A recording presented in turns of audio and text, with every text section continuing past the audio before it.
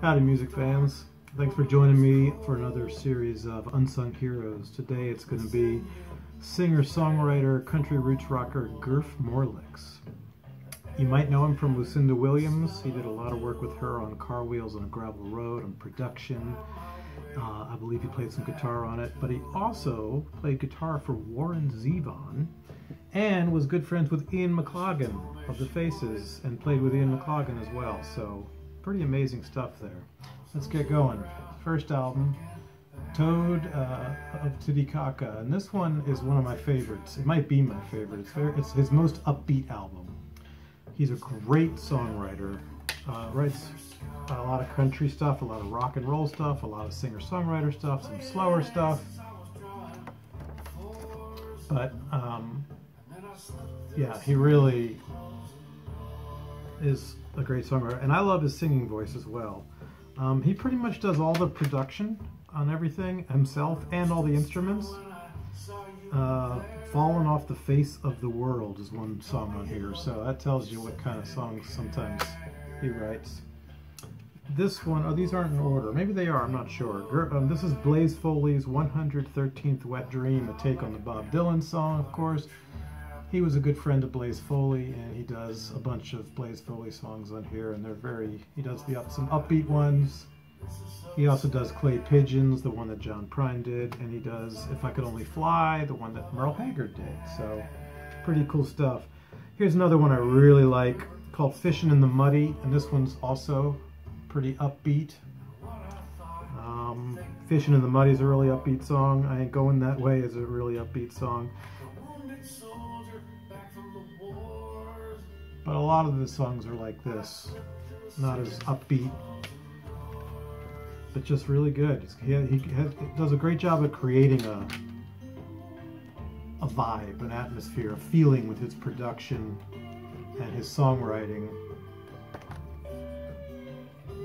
And he's got one hell of a history, you know, with playing with Warren Zevon and, and being friends with uh, Ian McLagan and, and playing with Lucinda Williams and recording with Lucinda Williams on her Opus car wheels on a gravel road. And I actually got to meet Gurf a couple times. Last year, I, I think it was 2019. I think it was 2019.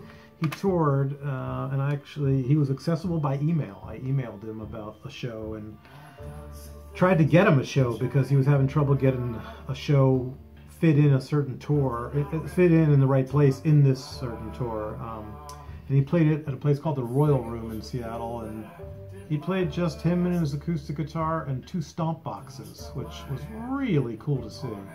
This, by the way, is a real is a country album. It's called Cut and Shoot, and it's got a lot more of his country stuff on it. And this one's probably my other favorite as far as songwriting. There's one called um, "Were You Lying Down," and the catch line is "When You Stood Me Up." So that's a classic country, you know, tongue-in-cheek phrase, euphemism. Um, they're Hanging Me Tonight is another cover. He does that on here, which is um, an old traditional. And then, let's see, this one's called Diamonds to Dust. And Killin' Time in Texas is one of the ones on here. Madalyn's Bones is a real upbeat rocker. A lot of really great stuff. Um, so anyway, I went to this show and got to see him and meet him, and I bought his new record from him there. And uh, then he played again at a place called uh, Treehouse Cafe, which I'd always I'd, I'd, heard about recently, wanted to check it out, and uh, went with a friend. This is called Last, Last Exit to Happy Land. Great titles. And then um, got to meet him there and, and talk and chat a little bit. And it was just another him and his acoustic guitar just sitting there and playing his stomp box. Really, really fun. We, we were in the first row. We were 10 feet from him or less. Little sit-down dinner place. Both of them were. This one is called Gurf Morlix Finds the Present Tense. Isn't that great? And then with the photo, great title there.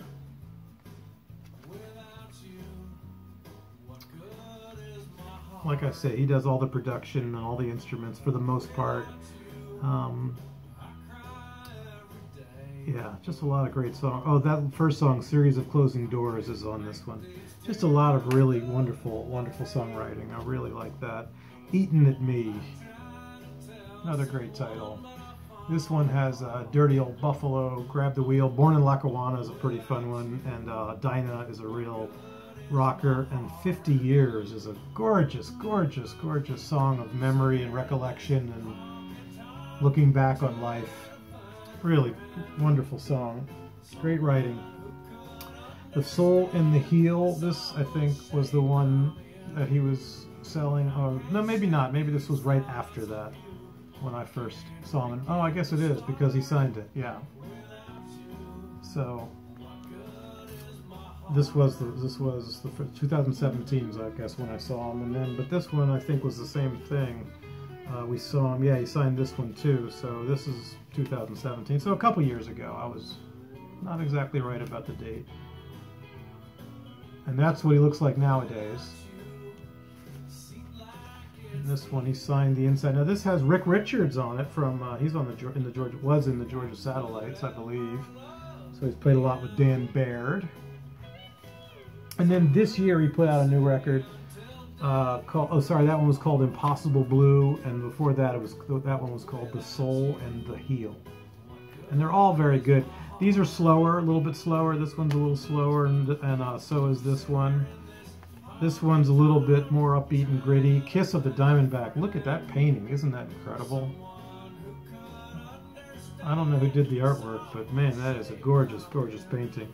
And this one, just he just sent me an email, and I was on his, I'm on his list now, and said he's got a new record out. If you want it, you can buy it. And so I did. Um, I'm a, I'm a big fan. This one is Rick Richards on drums again. Um, and there's some pretty fun uh, liner note stuff. But all songs written by Gurf Morlix. Oh, on one of these songs, he does Bob Dylan's With God on Our Side. There's a little sticker in there, Garth. Um, so, accessible, nice guy. Um, reminds me a little bit of James McMurtry, a little more accessible. Um, but in his songwriting is a little bit James McMurtry-ish as well. Um, although he's got some real upbeat country stuff. So this, I think, is all of his albums except for one, which is an instrumental album. So I don't have that one. But um, these are all excellent, including this all covers album of Blaze Foley, another wonderful songwriter that he was friends with before Blaze Foley died. That's it for Gurf Morlix. Uh, I'll put some links to some of my favorite songs in the chat. Please uh, subscribe, like, and comment. I'd love to hear what you think if you know anything about Garth or his music or any of the um, things that he has uh, uh been involved in, like Warren Zevon, and McClog, and Lucinda, or anybody else. All right, thanks so much. Have a good day.